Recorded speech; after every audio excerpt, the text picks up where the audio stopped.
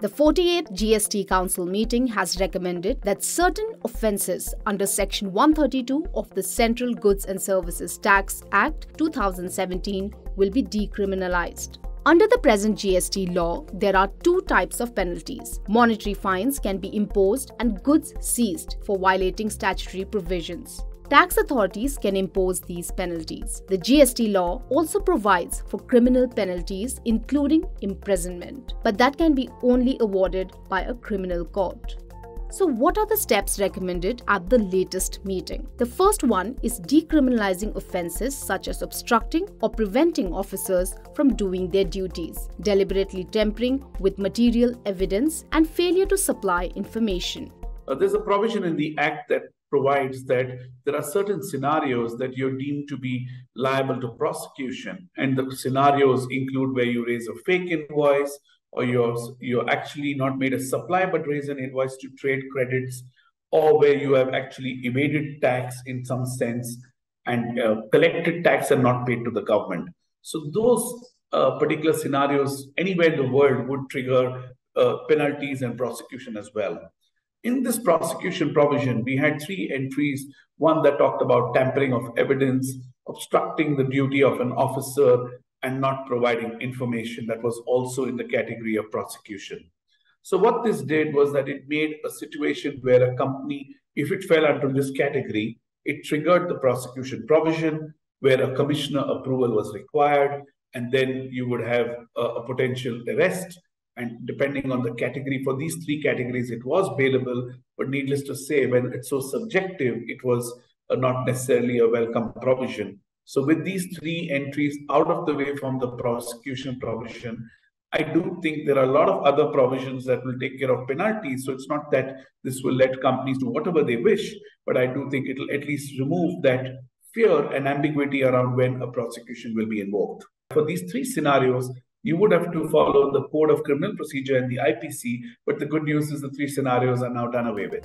The second recommendation is doubling the minimum threshold of tax amount for launching prosecution from 1 crore rupees to 2 crore rupees, except for the offense of issuing invoices without supplying goods, services, or both. The third one is reducing the compounding amount from the present range of 50 to 150% of the tax amount to a range of 25 to 100%.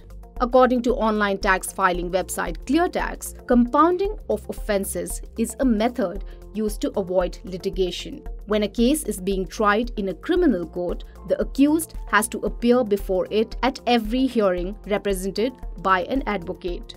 With compounding, the accused is no longer required to appear personally and can be discharged on the payment of a compounded fee. Till now, the amount payable for compounding was 50% of the tax involved, subject to a minimum of 10,000 rupees.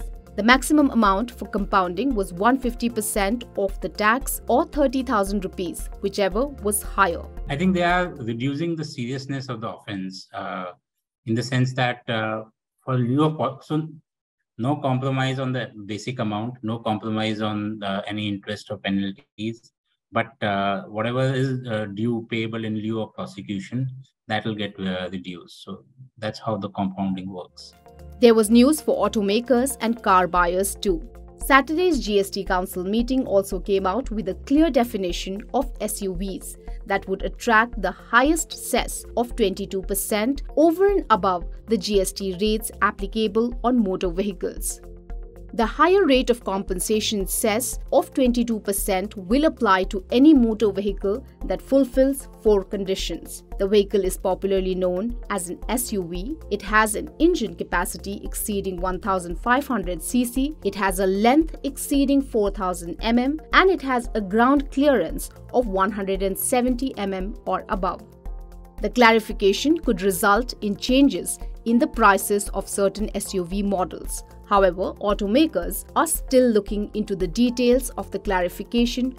The Society of Indian Automobile Manufacturers has welcomed the clarification on the definition of SUVs, saying that it was on the lines of its discussion with the Finance Ministry. In India, SUVs have seen a big jump in their demand in recent years and are slated to drive automakers to record sales this year. what could be the reason why SIAM has welcomed it is because a lot of sedans uh, fulfill some of the uh, uh, some of the conditions. So there are four conditions which have been laid down in the definition of an SUV, uh, which was uh, which have now been reiterated. Whether these were all or and conditions was something which was a subject of dispute, and there is a there is an including definition. So this is an including definition, and whether this was creating a restrictive effect or whether it was expanding the uh, the definition that was also being uh, talked about. So litigation or disputes were being created where even those uh, vehicles which we do not normally understand as SUVs were being asked to pay duty uh, uh, compensation cess at a higher rate.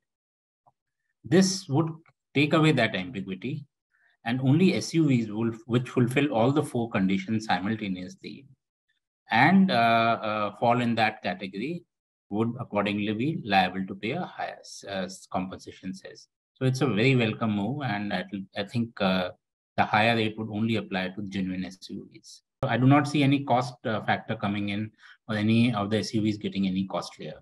The FM also very categorically reiterated that there is no new levy this will, should not create any new levy.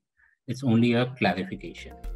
The meeting on Saturday was held after a gap of six months, but the GST Council could not address some of the important agendas like establishing a GST appellate tribunal and the tax treatment for online gaming, tobacco, and gutkha. All of this indicates that the government may have taken its foot off the pedal as far as making the indirect tax regime more effective. If you like this video, share it and subscribe to Business Standard. For more news, views and insights, log on to www.business-standard.com. Do also follow us on YouTube, Twitter, Facebook, Instagram, Telegram and LinkedIn.